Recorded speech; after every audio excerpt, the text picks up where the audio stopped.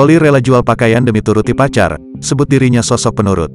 Loli rela menjual baju-baju bekas pakainya untuk menuruti keinginan Fadel yang tak suka dengan gaya penampilannya yang feminin.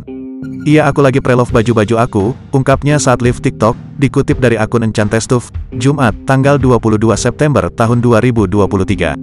Karena, sekarang aku mau lebih ke style-style yang kayak Hailey Bieber style gitu. Karena, pacar aku nggak suka kalau aku pakai baju-baju dress, sambungnya.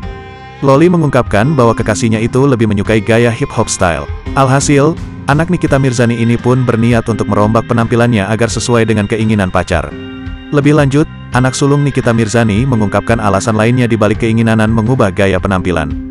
Dia mengatakan bahwa dirinya memang merupakan sosok pacar penurut ketika menjalin hubungan asmara dengan laki-laki. Hal ini pula yang membuatnya mau menuruti keinginan sang pacar. Ya gitu deh Gus, aku kalau udah pacaran sama orang tuh nurut aku gitu, bebernya.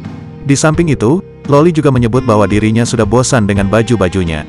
Makanya aku lagi pengen beli yang kayak begini, yang baju sweater, vest gitu-gitu.